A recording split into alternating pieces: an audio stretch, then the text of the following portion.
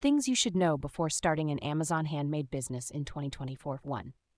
Eligibility Criteria Ensure your business meets Amazon's handmade eligibility criteria, including being a small, independent business selling products that are handmade or crafted by you and meeting product requirements.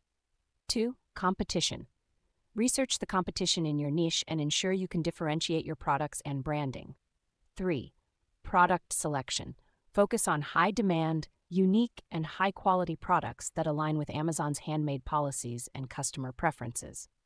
4. Pricing.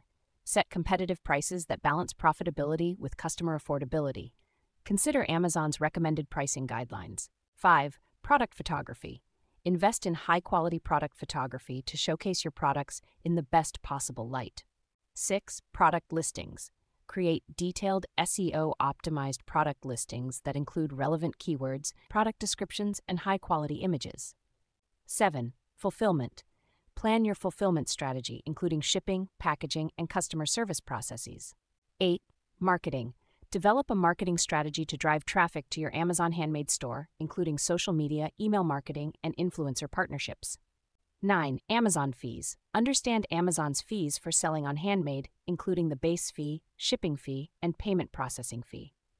10. Taxes and compliance. Familiarize yourself with Amazon's tax requirements and ensure compliance with local tax laws and regulations. 11. Quality control. Implement quality control measures to ensure products meet customer expectations and comply with Amazon's policies. 12. Customer service. Develop a customer service strategy to handle customer inquiries, returns, and refunds efficiently.